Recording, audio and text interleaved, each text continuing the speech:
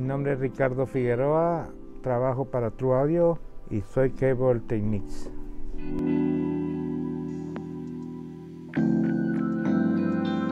Empecé en el año 2012, de noviembre 26, y fue, fue por medio de un email que le mandé al, jefe con mi resumen. Él lo leyó y me devolvió la llamada y le, que le gustó mi resumen y que quería verme y ya me hicieron las pruebas y aquí estamos trabajando. Antes de, entrar a trabajar aquí a True Audio, trabajaba yo como para, para mí mismo, visitando lugares de renta y miraba los cables y se los arreglaba. Estaba algo difícil porque habían semanas que entraba a trabajo y semanas que no había.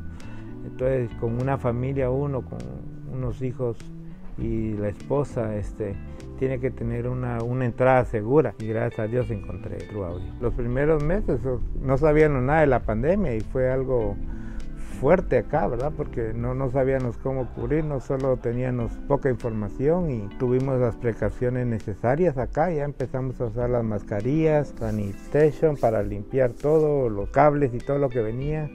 Este, tuvimos muy buena protección acá, cuidándonos a nosotros y cuidando a los customers también. There was a skeleton crew here. It was uh, the two service technicians, a rental guy, and me as a salesperson. And we were working six hours a day, um, every day, Monday through Friday. As people get vaccinated and the state feels like it's safer, things will open up even more, and our full customer base will go back to 100%. No tenemos uno en específico porque son muchos los que pasan por acá, este, producciones que vienen a, dejar sus cables o todo lo que necesiten para arreglarlos y todos son bienvenidos y son muy, muy queridos acá. Para empezar en este trabajo, lo primero que, que tiene que ser uno es ser un buen trabajador.